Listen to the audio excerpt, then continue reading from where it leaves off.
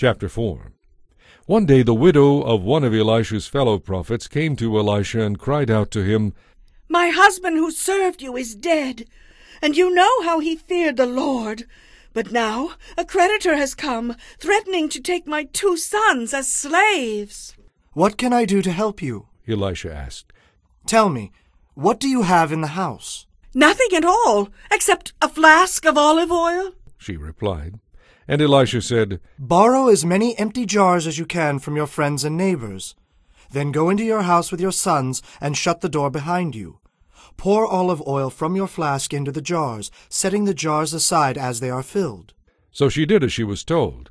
Her sons brought many jars to her, and she filled one after another. Soon every container was full to the brim.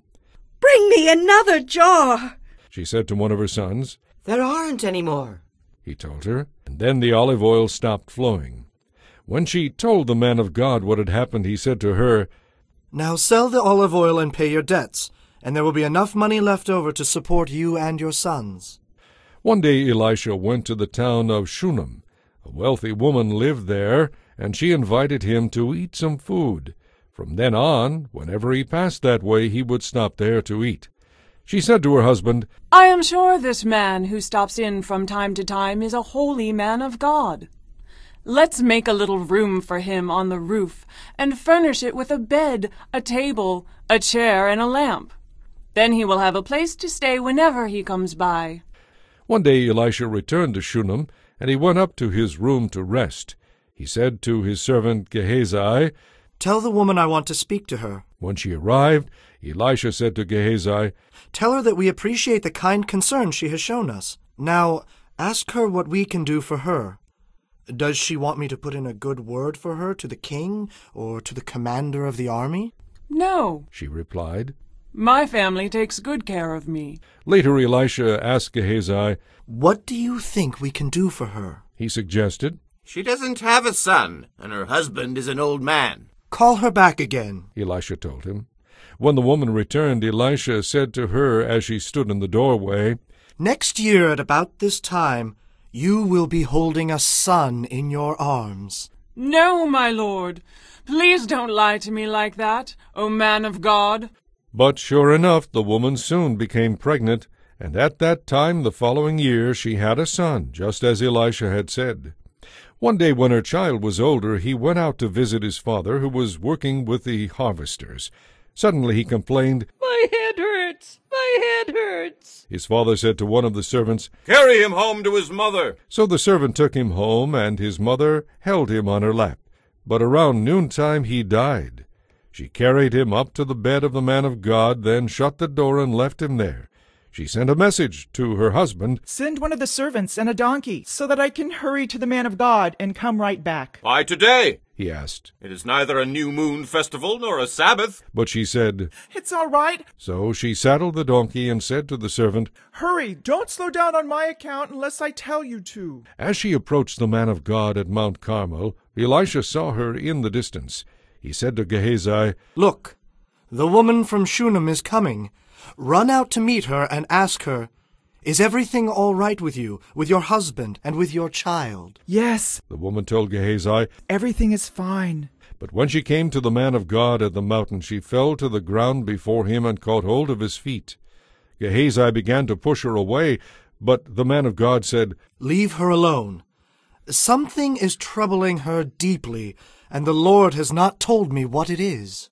Then she said, It was you, my lord, who said I would have a son, and didn't I tell you not to raise my hopes? Then Elisha said to Gehazi, Get ready to travel. Take my staff and go. Don't talk to anyone along the way.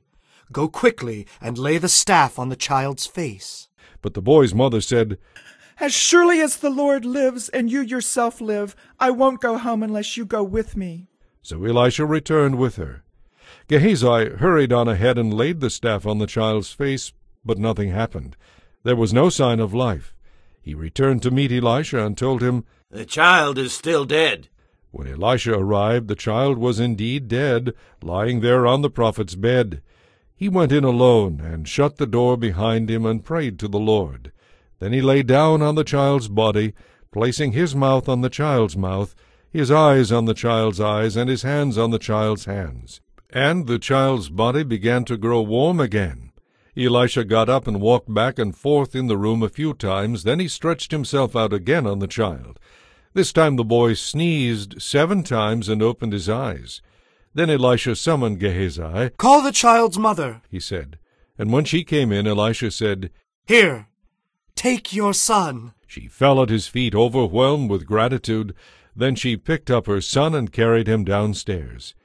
Elisha now returned to Gilgal, but there was a famine in the land. One day, as the group of prophets was seated before him, he said to his servant, Put on a large kettle and make some stew for these men. One of the young men went out into the field to gather vegetables and came back with a pocketful of wild gourds. He shredded them and put them into the kettle without realizing they were poisonous. But after the men had eaten a bite or two, they cried out, Man of God, there's poison in this stew. So they would not eat it.